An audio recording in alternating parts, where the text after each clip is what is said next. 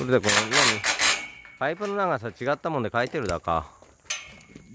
これ1.1だからだったもんでパイプ内も1.2にしてんのか。ああそう。うんそういや古田君最近のさどこの会社もさ若い子丸っきし仕事できんっていうけんなんでなのかね。なんで？うなんで？んうん。ガッツの問題じゃない？カッツ？知らんけど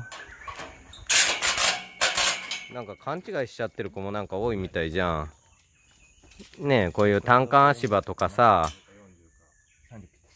ビデ足場と違ってさなんかああいうのはさ手に職のあれじゃん。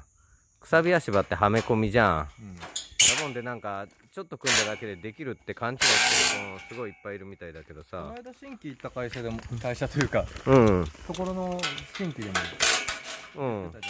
あああの誰でもできるやつね。あ言ってあ言ってたわ。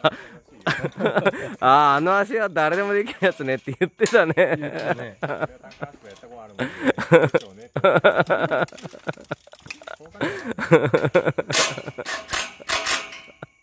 言ってたわ。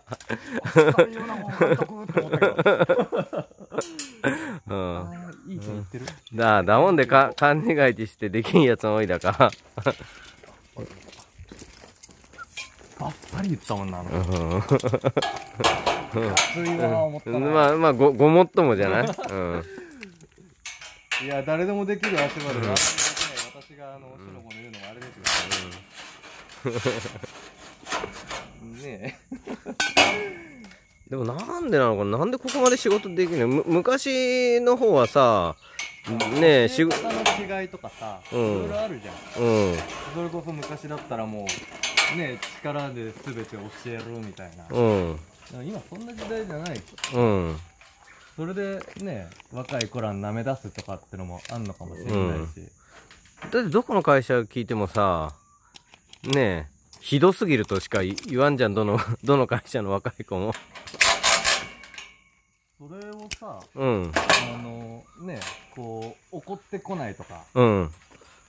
力ずくで来ないことに対しても、ね慣れてきてる。